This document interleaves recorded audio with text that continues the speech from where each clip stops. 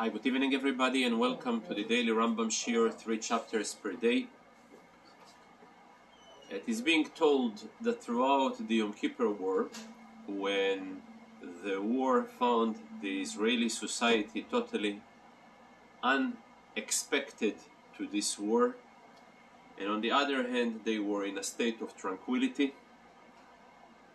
and suddenly, in one of the shuls, in one of the shtiblach, the greatest general in Israel in those time, Moshe Dayan, comes in and he shouts, Guys, it's about time to stop to rely on miracles, start to say Tehillim.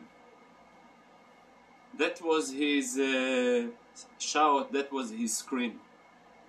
Recently, we were always attempting to find, and thank God we are able to find a link between the topic of the daily Rambam to the weekly portion. And we read in the Torah that the greatest gift which was given to the Jewish people is as Chazal, our sages, are expressing it in the following sentence Hakoil Koil Yaakov, the voice of prayers, the voice of Tachnunim, this is a special gift that God Almighty gave to the Jewish people, and it comes into use especially in light of the topics that we have started yesterday, Hilchois Tainis when the entire community goes into a gathering mode, where the purpose of the gathering is to start with a communal prayer and blowing the shofar and the trumpets and so on. So the first chapter of our daily shiur defines precisely what is a sufficient reason for the community to enter to the state of za'ako, a communal prayer. He gives a list for about six different occurrences that will justify such a mode. First of all, he starts with anti Semitism. It is interesting that I heard once what is a difference between a hatred that Jewish people hate other Jews and the hatred that anti Semitism will hate other Jews. And the answer that is given that typically will ask any Jew, Do you love the Jewish people? I'm in love with them.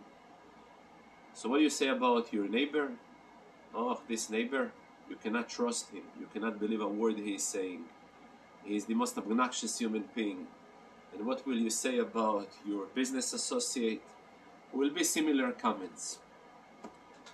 And when you will say about anti-Semites what you're saying about the Jewish people, you will say terrible because they are controlling the banks and they are controlling the world and all the other type of conspiracy theories. And then you will raise to him the following question How come that his doctor is Dr. Goldberg? And how come his accountant is Mr. Silverstein? His doctor is Dr. Cohen? And he will say, Well, the doctor, the accountant, the lawyer, that's a totally different story, but it doesn't represent the Jewish people. So that's the difference. You know, we say that in the Jewish people there is Am Yisrael and Reb Yisrael. So while the anti-Semite will hate Am Yisrael, he may be okay with Reb Yisrael, with certain individuals, where by many Jews you will find the opposite. They are in love with the collective of Am Yisrael, but they will have problems with that individual, with another neighbor, with a business associate, and so on. So the first situation where anti-Semitism triggers a good reason for communal gathering in the mode of za'ako, blowing the shofar, fasting, and other rituals that are associated with Hilchos Tainis, is when the enemies of the Jews, what we call it to them anti-Semite, they are oppressing the Jews, whether they demanding from them a piece of land whether they demanding from them assets or whether they want to impose upon them excessive taxes on a permanent basis. All those reasons are sufficient enough to gather the community for a prayer event, for blowing the trumpets, and also for announcing a communal fest. There is a second reason that is justifying a state of za'ako, screaming prayers, and so on, what we call that a religious emergency mode. And this is associated with a pandemic. It's called the dever. However, the Rambam gives very precise guidelines that only with those situation parameters a halachic acceptable definition of pandemic will be accepted. And he gives over here, first of all, the percentage of people should be slightly about half a percent, even goes into resolutions of numbers. A city that consists of 300 people, so you are expecting that within um, three within three days, three consecutive days, uh, an amount of five people should be passing away. And if a city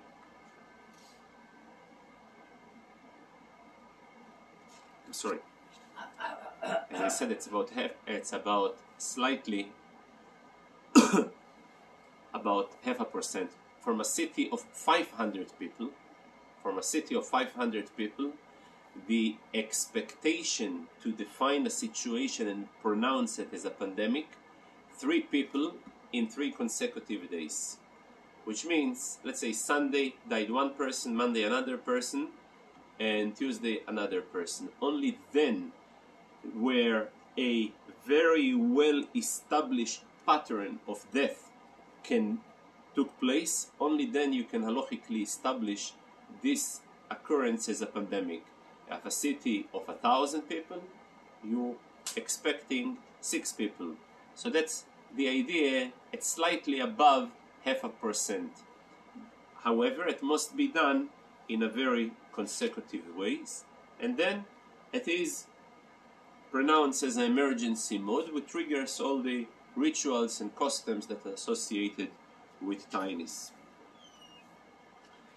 Then there is a third occurrence where a military action takes place, even a camp of an army that not necessarily waging war with the local citizen, but they are on the way to wage war with another army, but they just passing by.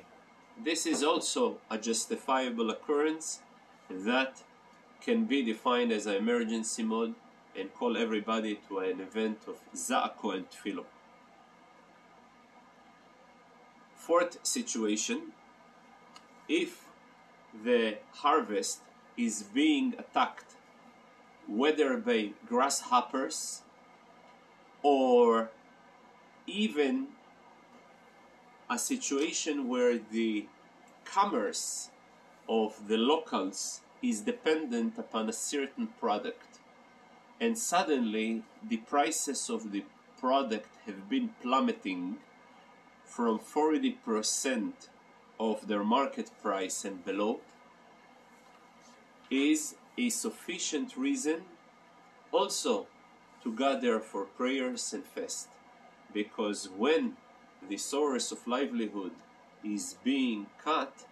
So though currently seemingly they are all alive but the future is already predicting a very very dark future. Then there is a chayo chayo is an attack of a what we called it a beasts animals who are very harmful. And you know, there is a very famous story that once upon a time a person came to a city and he was looking for a rental. And he goes to one prospective landlord and he starts to interview him. And he says to him how many children you have? He says i have about eight children. He says i'm very sorry but you know we part of our policy is to have a limit for one two children the most because otherwise it doesn't economically it's not sound for us to go and rent the apartment. And then he went to another apartment and he goes through the same story until he realized that the only way for him to manage to reside in the city is to lie to the landlord. So next apartment he goes and he asks how many children you have. He says, none. And okay, no problem. You have an income. He shows him the payment stub, he hands him the key, and uh, goes to his way. Then he decided to bring all his children very late at night to sneak them in. They going to the apartment and they start to produce their sounds, their fight, their you know, children to behave like children. And the landlord was not able to sleep a whole night because he was living up there and the all the screams and the shouts and the breaking and so on. In the morning he knocks on his door, he says, I'm very upset at you and I'm very disappointed at you you look like a very pious, righteous person, and you just lied to me. He says, I lied? I didn't say one word of lie. I said the truth. He says, Really? You told me you have no children. And I see over here eight children in your house. He says, These are not children, they are chayois, they are animals. So it's interesting over here when the Rambam defines one of the situation of the occurrences that a tainis and as the Akob needs to be announced, he is giving five different scenarios, which means like any way of uh, interference must to have the right parameters that will justify proclamation of this situation as an emergency mode. For example, depends where the animal is appearing and depends also what time. If an animal appears at night, you cannot call it a unusual event because at night this is the time when they are around. However, if the animal appears in a city where residents are, that can be a reason to uh, proclaim as a day of Za'ako. Or if it is outside the city and it is able to face two people and not to run away from them, that's already another level that indicates that something unusual, there is an alert system that we need to do something about it.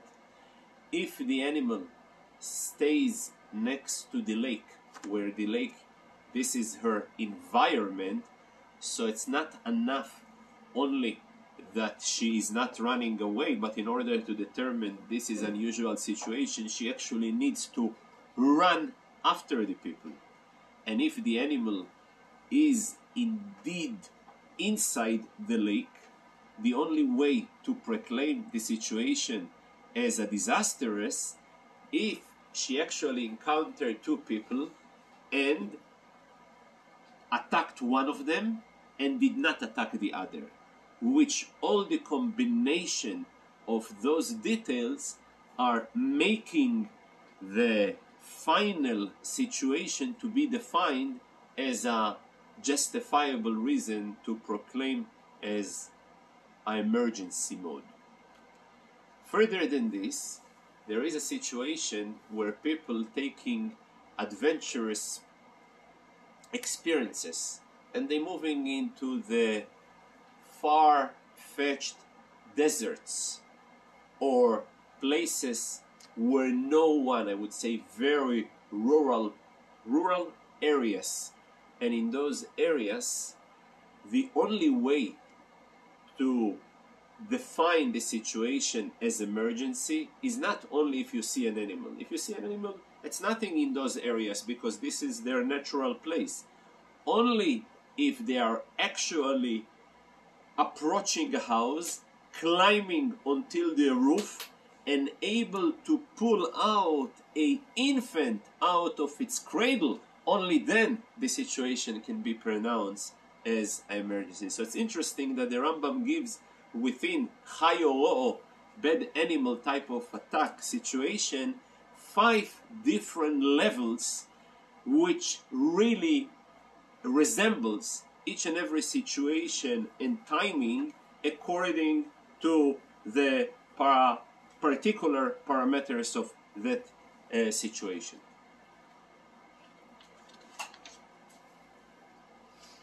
At the end of this chapter, of the first chapter, he brings the final case where the majority of Maseches Tainis and the majority of Hilchos Tainis are being surrounded about. And this is when there is a lack of rain.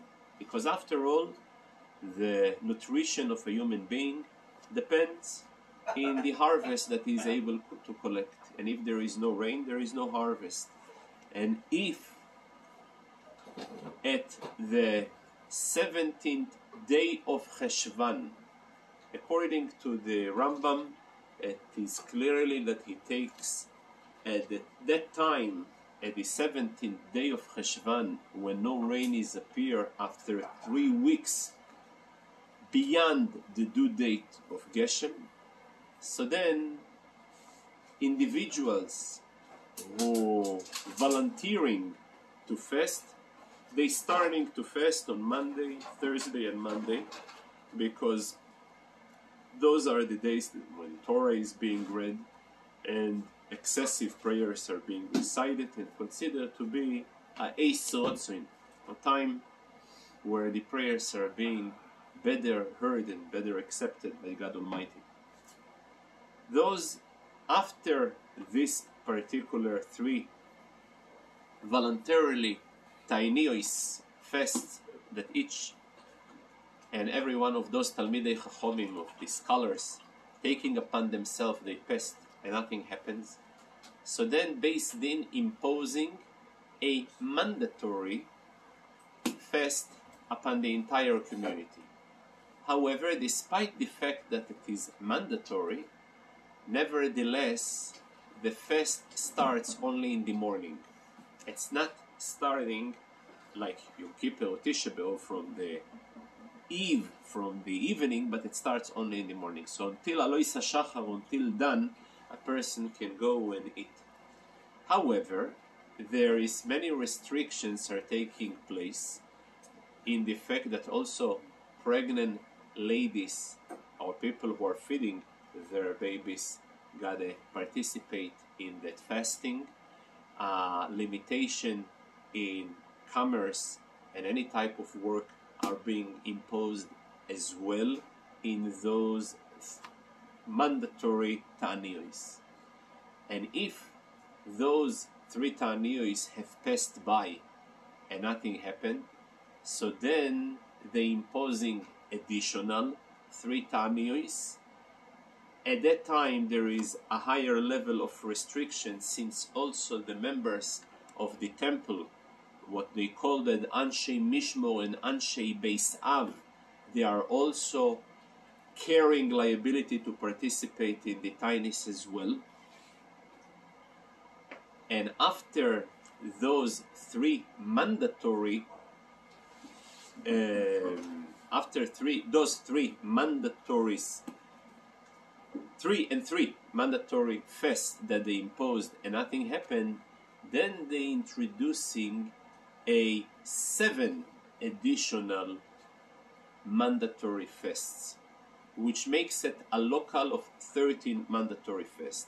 What makes the last seven fasts different than the first six, although the first six are mandatory and the seven as well are mandatory, the difference is there is a communal gathering in what we call it in the center in the plaza of the city and they searching for a very qualified individual who will give divrei kibushin, words of inspiration, words of awakening, and also there is a process, a communal soul search after their deeds, after their action, in order to improve. One of the famous lines that the community inspiring individual shares with the community, he gives them a reference to the people of Nineveh. He says, Rabbi not the fast and not the torture, they are the causes of making God change his decision to improve the situation. But you gotta take a cue from the people on Nineveh. It says the people on Nineveh that God Almighty have switched the decision on them to save them from the tragedy that were about to happen to them, because it says, "Vayar Eloikim es maaseim." God have noticed their action. Doesn't say God took notice for their fasting, for them not eating. Says God took notice for them changing their action. That's what made the difference. So these are the words of the community men. Also, there is quite a very large section in the Rambam to that is being dedicated to the qualification of the chazan, the person who will lead the prayers in the city center. It's so uh, interesting that even a chazan requires not only he should have a good and loud voice, but also clean without any blemish, no ethical blemish, no bad rumors upon him, uh, even in his youth and his childhood, and a person who is a hard worker and earns a little bit, and yet he is very sincere and people love him.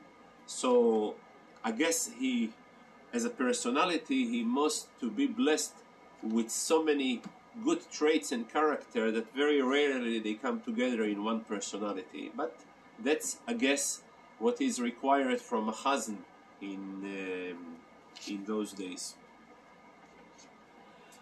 In the third um, chapter, the Rambam goes into the actual prayers that are being added into the Shemona Esrei. We know that all those additions that we ask in God Almighty for help, for rescue, out of those terrible situations that we found ourselves in, they are, some of them happen to be quite familiar to us from the text of Slichos before Shoshone and throughout Taanis Tzibur in about a week and a half we're going to mark the 17th day of Tammuz. So in some of these psukim that the Rambam mentions, essentially it is almost like a copy and paste of those psukim that are part from our prayers. So it is about six blessings that are referring to God Almighty. He should rescue us and save us from this crisis we are in, same way as he have saved Yehoshua when he is struggling with the enemies throughout the occupation of the land of Israel. He should save us like Shmuel Hanovi when he was leading the Jewish people in the Mitzpah. He should able to save us like Elijah the prophet, Eliyahu Hanovi, when he was in the Mount Carmel. And Yoino Hanovi, who was in the insights of the big fish. And those crises that we are bringing and introducing in our prayer is reminding and our verbalizing those words is in order to trigger the mercy in God Almighty towards us. That all those situations, though at, when they occurred, was not necessarily 100% chance that the Jews really deserved to be rescued. Because obviously each and every generation have faced their own challenges and not always they were able to withstand those challenges successfully and as a result of them not be able to withstand those challenges successfully midas hadin the attribute of severity and judgment came about to life and they were faced and they were major turning point. and despite the fact that it was midas hadin out there nevertheless god almighty have saved us so for that reason we are mentioning those historical turning points that despite the fact that it was questionable whether we deserve to be saved or not to be saved, God Almighty took the rescue approach, and today we are celebrating our existence as a result of the approach of God Almighty in those days. I would like to conclude in the since right now we have just started in our daily shiurim the Igeres Tshuvo, and the Alter Rebbe said a very powerful uh, point that when God Almighty, with what we call the Kal V'chomer, is one approach or one method in logical method of in English it's called how much more so. And in what sense? The halachic expectation of an individual is always to forgive if the other party expressed sincere regret of any harm that caused to another one, so there is an obligation for the person to forgive, and he should not be cruel by not forgiving. So, if this is the halachic expectation of a human being, God Almighty, that the attribute of His rachamim, mercy, is basically limitless, how much more so He will always forgive. And He proves it. He gives also a very interesting proof halachically. Every day throughout our prayers, we concluding the prayer or the blessing where we asking God Almighty to forgive to our sins, and we says Baruch Ato Hashem, Chanun Hamarbe Lisloyach.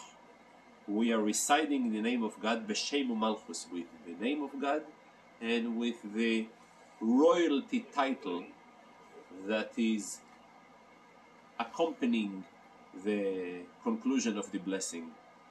If we would not be certain that God 100% will forgive us, then it will be a suffix, a doubt of Brocha Levatolo, express the name of God in vain. And since it is forbidden to express the name of God in vain, so obviously it is a 100% certainly that God is forgiving. And further than this, right after we say Goyal Yisrael. We are reciting that God Almighty will redeem us and yet the question, how come we are not redeemed and we're still residing? So the Alter Rebbe is introducing a very phenomenal concept that as far as the effectiveness of the blessing for him redeeming us from a perspective of the blessing 100% the redemption is taking place side issue external factors coming in, kicking into the picture, as he expresses it, if we would not have been repeating our mistakes and sin again, then the redemption would long time go away. And for that reason, you can see in light that those blessings that are being attached to the blessing of Goyal Israel indeed is in order to invoke the infinite, endless attribute of Rachamim of HaKadosh Baruch Hu to go redeem us from Golus entirely and in the meantime to rescue from all, all other non-pleasant occurrences that are taking place. Thank you very much.